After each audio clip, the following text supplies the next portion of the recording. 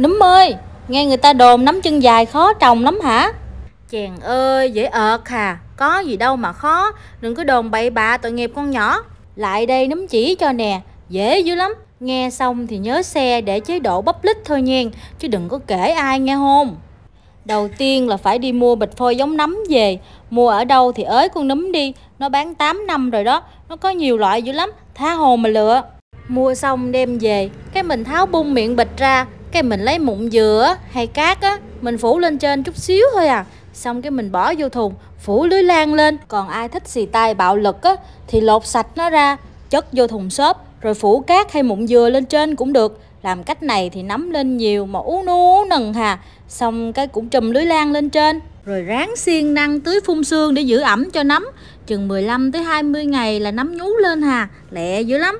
Đó, thấy chưa? Nấm lên rồi nè thanh xuân như một tách trà, mà ai trồng nấm thì giữ hoài thanh xuân nha. Nấm nhú lên thì hôm trước, hôm sau là nó bự liền. Nên nhớ canh chừng để hái nha. Bữa có cái anh kia ảnh trồng mà ảnh quên hái. Cái nấm nó bự chà bá luôn, bự hơn cái mặt luôn. Đó, chỉ vậy thôi hà. Dễ ẹt thấy không?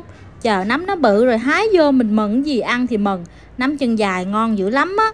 Ăn không khéo là ghiền hà. Mốt đồi nữa, không biết đâu ra mà đưa nha tiệc tùng nhậu nhẹt á, thì mình trét bơ tỏi, mình nướng cho nó xoăn chảnh. Còn ai ăn cần kiệm thì đem kho tiêu ăn với cơm nóng nè.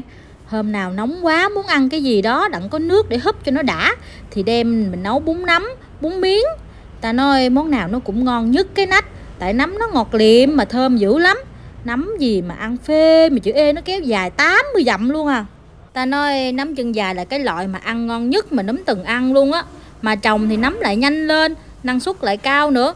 Cây nào cây nấy ú nu, chà bá không hà không trồng thử là kiếp này coi như bỏ. Nghe lời nấm trồng thử đi, ghiền dữ lắm luôn á.